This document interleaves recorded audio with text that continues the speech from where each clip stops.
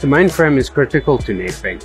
We run our core banking platforms and it drives our payment systems as well. For mainframe application development, it was really critical for us to adopt the agile ways of working.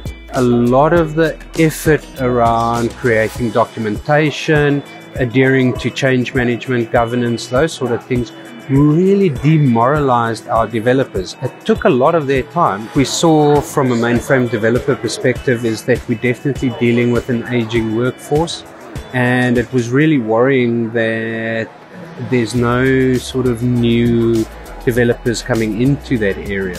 One of the problems with recruiting new developers is around the sort of archaic way that we were doing development. The challenge was to put an automated pipeline together where we could get rid of all those mundane tasks that developers were doing. We really saw that we had a modern IDE with all the features and functionality that the developers needed within that single client backed by proper source control and build and deployment automation.